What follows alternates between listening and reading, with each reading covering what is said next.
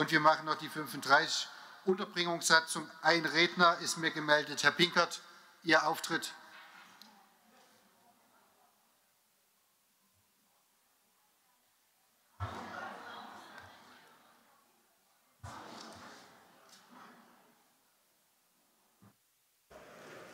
Tja, das ist das Problem, wenn man in der letzten Stadtratssitzung eine Satzung aufhebt und die neu beschließt. Deswegen müssen wir das jetzt noch schnell machen.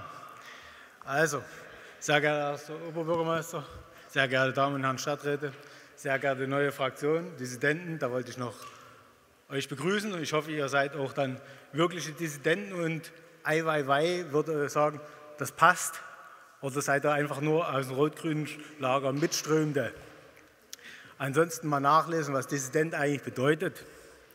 Wir sollen am heutigen Tag nochmals die Neufassung der Satzung zur Unterbringung besonderer Bedarfsgruppen beschließen. Wie schon in der ersten Runde werden wir auch diesmal nicht zustimmen. Wir sind der Meinung, dass eine gemeinsame Satzung für die unterschiedlichen Bedarfsgruppen nicht korrekt ist.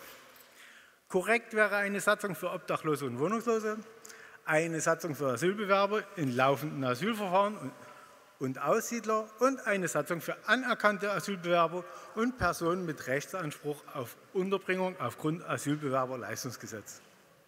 Eine Vermischung wird wahrscheinlich zum Nachteil einiger Bedarfsgruppen führen. Interessant ist die Berechnung der Unterbringungskosten.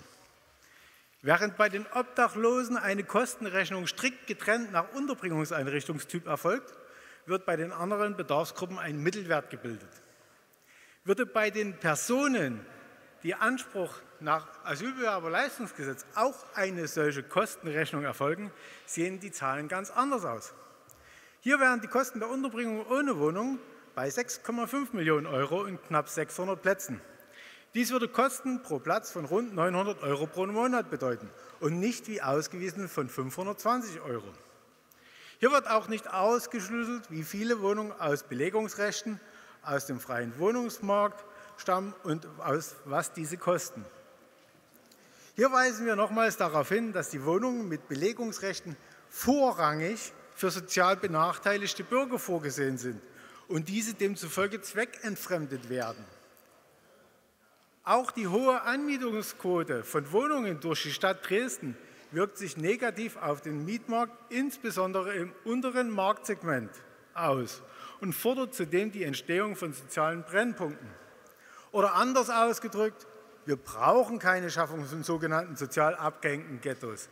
Das haben Sie gestern selbst hier beschlossen. Sie wollen Wohnungen zurückkaufen. Sie wollen Belegungsrechte weiterhin fördern. Sie wollen weiterhin dies und jenes tun die Wohnungen aber zweckentfremden und beschweren sich darüber, dass der untere Mietpreismarktsegment für den Normalsterblichen, der eine normale Wohnung sucht, der nicht gerade irgendwie bedürftig ist über Hartz-IV-Leistung oder sonstiges, relativ dumm aus der Wäsche guckt. Die andere Sache ist die, eigentlich wäre ich schon fertig, aber ich habe nur noch Zeit. Die andere Sache ist die, wenn man nämlich genau nachrechnet, wurde hier nicht in dieser Vorlage nicht klargestellt, wie die Zahlen zustande kommen. Natürlich ist ein Mietpreis pro Tag von 21 Euro pro Obdachlosen eine absolut unreelle Zahl. Warum ist das ganz einfach so?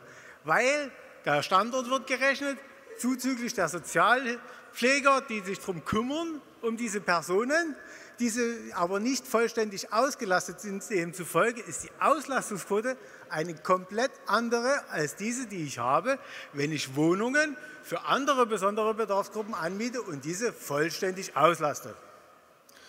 Daher finden wir diese Durchmischung der besonderen Bedarfsgruppen, die jeder gesondert betrachtet werden muss, eigentlich nicht gut. Daher können wir dieser Vorlage nicht zustimmen. Danke. So wird weiterhin das Wort gewünscht. Das sehe ich nicht. Ach doch, Entschuldigung, Entschuldigung. Frau Barko, bitte.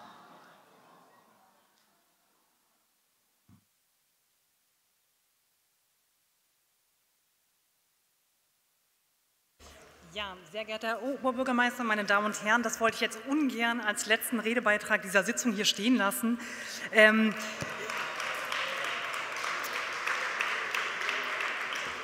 ich denke, also was ich jetzt vor allen Dingen rausgehört habe, ist, dass die AfD die Partei des Bürokratieaufbaus ist und gerne für sämtliche äh, Bereiche eine eigene Satzung einführen möchte. Das ist Unsinn, aber bei diesem Top 35 kann man einfach mal ganz nüchtern betrachten und trocken betrachten, worum es hier eigentlich geht, nämlich die Neufassung der Satzung für die Unterbringung besonderer Bedarfsgruppen. Es gab mal getrennte Satzungen, einerseits für den Bereich Wohnungslose, einerseits für den Bereich AsylbewerberInnen. Das hat sich als nicht praktikabel erwiesen, würde deswegen zusammengeführt. Was Sie hier alles hineininterpretiert haben, kann man aus der Satzung in dieser Form nicht rauslesen. Es ist einfach nur ein Instrument zur Handhabung und genau so simpel sollte man es auch betrachten. Noch eine Ergänzung, die AfD hat ja im Übrigen vorgeschlagen, 10 Millionen Euro mehr auszugeben für die Wohnkosten von AsylbewerberInnen. Das war ja so ihre Idee. Äh, das findet hier nicht statt und es ist, ja, es handelt sich tatsächlich nur um eine Satzung, wie Wohnungen, Wohnheime, Einrichtungen geführt werden, bezahlt werden, wer wo wohnt etc. So trocken ist das Ganze, da kann man nicht die ganzen äh, Punkte reininterpretieren, die Sie hier noch genannt haben. Vielen Dank. So, weitere Wortmeldung. Herr Hannig, bitteschön. Ja, aus Prinzip kann ich das jetzt hier nicht so stehen lassen als letztes Wort, genau wie Sie. Deswegen habe ich mich nochmal gemeldet. Ich finde, die AfD hat das Recht, so eine Meinung zu vertreten, wie sie hat und auch solche Anträge zu stellen. Und Sie müssen sie nicht belehren. Die wissen schon selber, was sie tun. So, können wir jetzt zur Abstimmung schreiten, Herr Pinke? Ja, also grundsätzlich ist es ja so, ich habe gesagt, die verschiedenen Kosten. Und das Problem ist natürlich auch, dass ich die unterschiedlichen Personenkreise zusammenfasse. Und es wird damit auch eine andere Tür aufgestoßen, nämlich die, wenn ich Plätze, die im Moment für diese Personengruppe Obdachlose oder in dem Moment obdachlos gewordene durch Brand oder sonstiges mit einbeziehe in eine Satzung mit den anderen, kann ich durch Trick 17 auch auf die Belegungen zurückgreifen, wenn ich diese benötige für andere Bedarfsgruppen.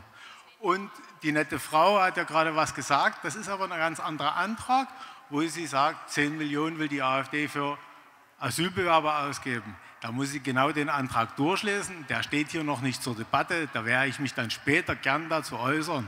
Danke. So, damit schreiten wir zur Abstimmung. Es gibt einen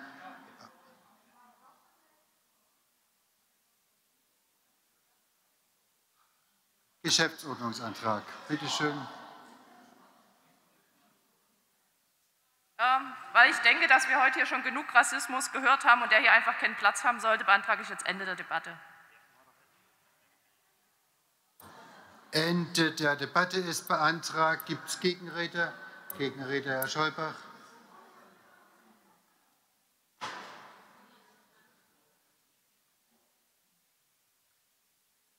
Beigeordnete für Soziales, die zuständig ist, hat sich mehrfach gemeldet, um eine Stellungnahme abzugeben. Ich möchte darum bitten, dass wir die Stellungnahme der zuständigen Beigeordneten noch hören dürfen. So, ähm, es ist Ende der Debatte beantragt. Äh, das ist abzustimmen. Wer für Ende der Debatte ist, den bitte ich jetzt um das Stimmzeichen.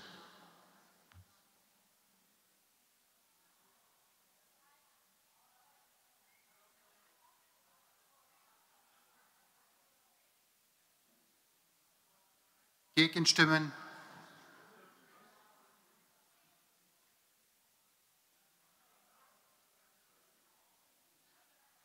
Und Stimmenthaltung.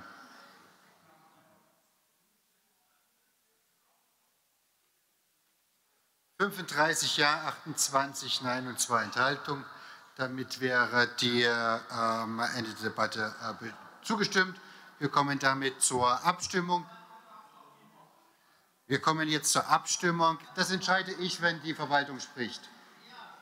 Und äh, ja, der, ich, hab, ich rufe Sie zur Ordnung oder Sie gehen nach Hause vorzeitig, wenn Sie sich jetzt nicht dran erhalten. Herr Scholbach, es reicht. Wir kommen zur Abstimmung über den federführenden Ausschussbericht. Ähm, und wer dem zustimmen möchte, den bitte ich jetzt um Stimmzeichen.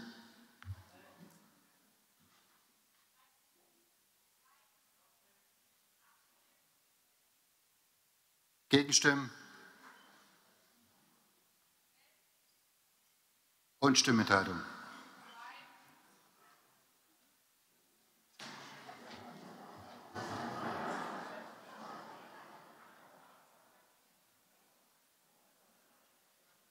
Neunundvierzig Ja-Stimmen, elf Nein-Stimmen, drei Enthaltungen. Damit wäre das so beschlossen. Wir hätten diesen Punkt noch absolviert. Ähm, ich bedanke mich, dass wir eine Viertelstunde überziehen konnten und ähm, wünsche Ihnen einen guten Nachhauseweg, ähm, ein gutes Wochenende. Und wer will, kann draußen beim Picknickkonzert bestimmt vorbeischauen. Das erste, was es dieser Größenordnung in Deutschland wieder gibt, hier in Dresden.